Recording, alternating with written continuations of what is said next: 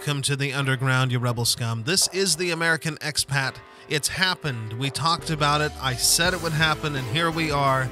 Donald Trump is unable to come up with the money to pay the uh, the bond that was necessary for him to appeal the ruling by this junk court in New York, and so they're going to be taking his stuff. Apparently, it's very difficult to come up with 450 million dollars in cash. So, yeah, that this is this is pure and simple. It's communism. This is a kind of communism. It's a land grab. They're taking his stuff, and they can do it to pretty much anybody that has property in New York.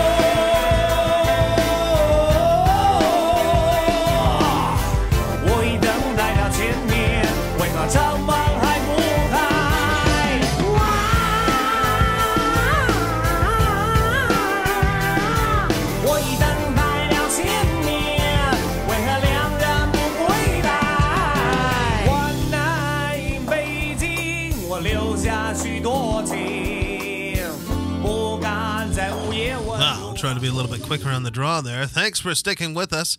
So, we made a video about this before. I uh, believe it or not. I'm sure a lot of you watching this are not uh, the ones heckling me about my thoughts on the matter, but I did take a lot of a lot of flack for saying that you know this is going to be applied to pretty much anybody, and they are going to take his stuff. And like, oh, it's never going to happen. They're not going to take his.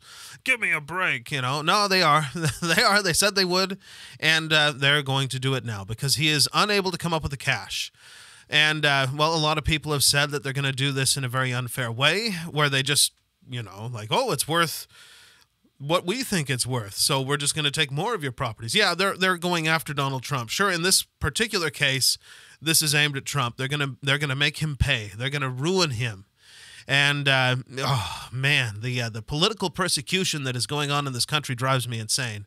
But also the fact that this this now sets precedent. Now there is a legal mechanism by which they can take your stuff. As, well, in New York right now. Hopefully, no other courts adopt this uh, way of doing things. I mean, it's pretty bizarre. So, who is the victim here? Who is the one that's actually going to get paid by all this? You know, because the bank wasn't you know defrauded. They came out and said they weren't. They uh, they made money on the deal that they were supposedly fraud was committed against them on, which is strange. The uh, the loans were paid back. So who's taking the property? Well, the state, the city, and the state are taking the property. And I guess now, if uh, they decide they want to take somebody's stuff, somebody's buildings or investments in New York, all they have to do is come up with this corrupt method of saying, oh, you are guilty of fraud because you got a loan the same way that everybody else gets a loan. And uh, so now we're just going to come up with this ridiculous fine of unpayable amounts. And if you don't pay it or put bond on it, you can't even appeal it. And so we're definitely going to take your stuff. And then it's, I don't know what they do with it at that point. I mean, what is the city of New York going to do with Donald Trump's properties? uh, probably fill them with illegal immigrants, I guess, to try and increase their uh, the number of people they have there, so they can have better representation in Congress. Basically, uh, you're having uh, the life squeezed out of you. They're they're going to fill those places up with people so that they can have more congressional seats and you're never going to have a voice again. There you're going to be ruled over by New York and California and uh, you'll yeah like i said you'll never have representation again. You may kind of have representation but it won't matter because they will have more representation.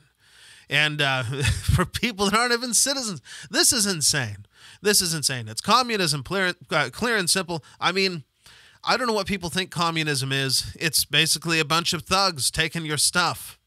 They, they they'll pretend sure. They'll pretend at first like they care about the little guy. Oh we're just taking the land from these you know crummy landlords so that we can uh, give it to the poor except they, they don't give it to the poor instead they take it from the landlords send them off to uh, a gulag somewhere and they take the poor and tell them now you're slaves for us and then they sell the produce that the poor people have made in the fields or the factories or whatever it happens to be on the international market.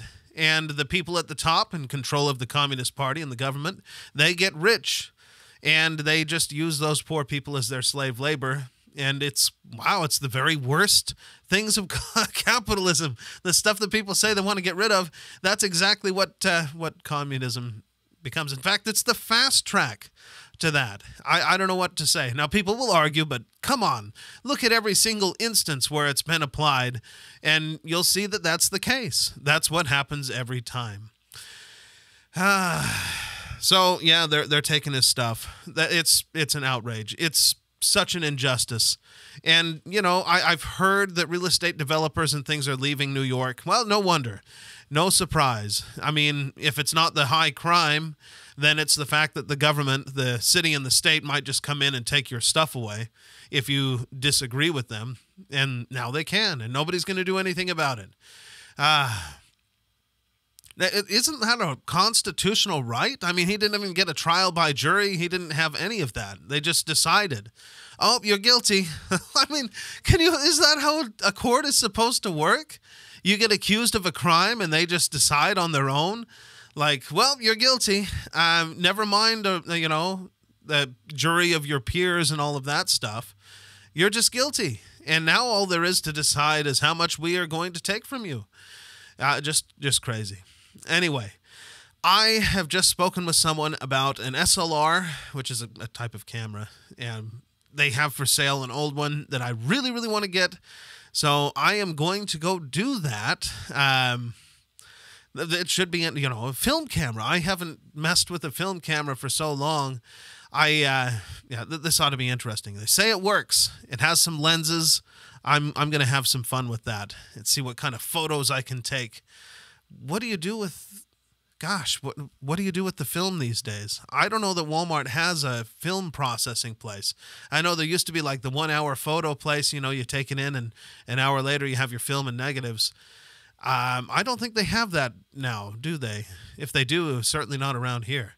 Who knows? Maybe I'll figure it out. I'll figure it out. I'm going to have fun with it. And anyway, so I'm off to do that. Uh, you guys will have to tell me what you think. I mean, is this an outrage? Is this communism? Is I am I right? I'm I'm pretty sure this is a form of communism in our greatest city, and it's a terrible shame, and it's going to destroy the country because you know those are where a lot of our economic activity is at. I get well, who knows? Maybe Texas will become greater as a result of this. That's what I'm hoping. It just makes Texas better. Because Tex- I'm telling you, Texas is the next big thing. If you're looking for a place to go start a business or something, you know, consider going to Texas. Dallas, Houston, one of those places, fantastic. It's growing and growing, and it'll only get bigger. So, yeah, take, take a look at that. Joe Rogan thought it was good. He's in Austin, yeah, Texas. I'll see you guys in the next one. ไฟพะวงลงเฝ้าสาวเจ้าบางประกงทางหวยงงลงเกอเออหาโอเวนคำจำพรากจากไปไกลตา